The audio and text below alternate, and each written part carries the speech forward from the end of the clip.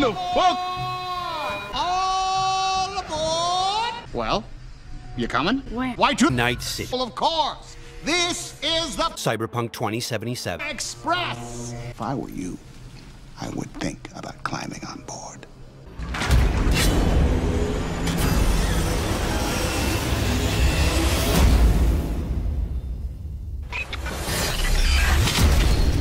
Yes, guys, the Cyberpunk 2077 gameplay reveal trailer is here, and um, it's not really a gameplay reveal trailer. It's not really a trailer actually. It's 48 minutes long, which is it's a bit long for a trailer, but um, now the game is just oh, it's looking like a spicy meatball. I'm not gonna lie, it's looking really good. Before this, there was just some cinematics, and I was like, you can't really go off cinematics, can you? It's not the end product, and this they mention quite a lot in this that this isn't the end product. When I say quite a lot, I mean quite a lot. The gameplay you're about to see is from a work in progress version of the game. Everything you see is potentially subject to change.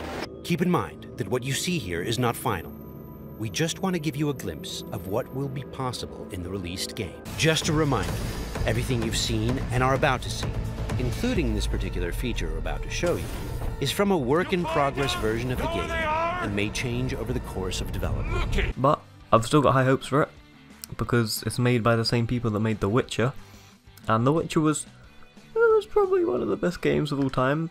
Not to over exaggerate or anything, but it's a, it's a pretty good game. Well, when you step aboard the hype train of any game, there's always that risk that um it's not gonna go too well. Good old No Man's Sky. But anyway, in the game, like it just looks so good. You can turn into a freaking spider. You can like get all these upgrades, all these like customize your character, get all these things, and you know one of the best things about it, the guy in the trailer is like, there's gonna be no loading screens. We are working hard to make Night City a fully realized, seamless open world with no loading screens. If they can pull that off, mm, it's gonna be a pretty good game.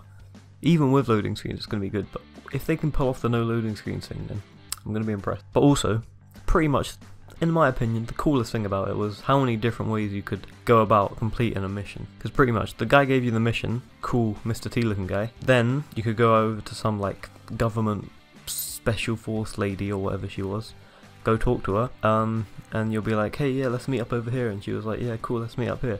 And then you'd go and meet her, you'd scope out the area first, then you drop down and meet her, and then um, then it turns out everyone's really high level and you're like, oh shit, we're gonna die. And then they start pointing guns at you and you're like, whoa, whoa, whoa, chill. And then you know that you can't actually fight them because they're too high level, so you got to talk your way out of it.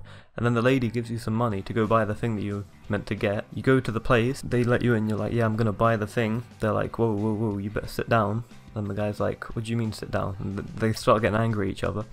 And then you're like, yo, just sit down. And he's like, alright, I'll sit down. And then the big boss guy gets angry. He's like, what are you doing? And then you're like, I'm gonna pay with the money and then you pay with the money. But the lady that gave you the money on the drive, the drive has some bug in it that infects their system and shuts down everything. And then they, everyone starts shooting and it all goes mad. And then um, the guy that does the gameplay um, trailer, he says, "Can you imagine if we didn't do it this way?" And it, he was just saying how you didn't have to do it that way. You could go um, you could just go in guns blazing. You didn't even need to talk to the lady to get the money or you could have just bought the um, thing yourself with your own money. It's pretty crazy, I'm not gonna lie. Yeah, pretty excited. Um, all I'm gonna say is just please don't suck. Please, like on a level. There's no need to suck. I'm trying not to get overhyped. Maybe you should get overhyped. If you haven't seen the gameplay reveal trailer yet, it's 48 minutes, but it was like watching a film, I'm not gonna lie. This isn't my normal type of video, if you're new here. I normally play video games, but now I'm talking about it because I'm so excited about it. And also, there was a really cool like car chase scene I'll, I'll, I'll, leave it at the end of this. but I'll just leave that bit in. You got to go watch the rest yourself. I'm not going to leave 48 minutes worth of. Do you know how long that would take to render? Are you mad? Anyway, I hope you enjoyed the video. Check out the gameplay, and I will see you guys in the next video. This does not look good.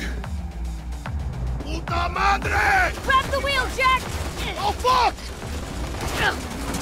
It looks like the scavengers from earlier are still angry.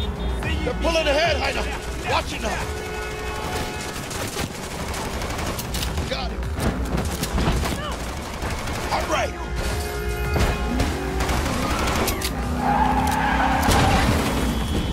I think we got rid of him. That was intense. Ah! Shit!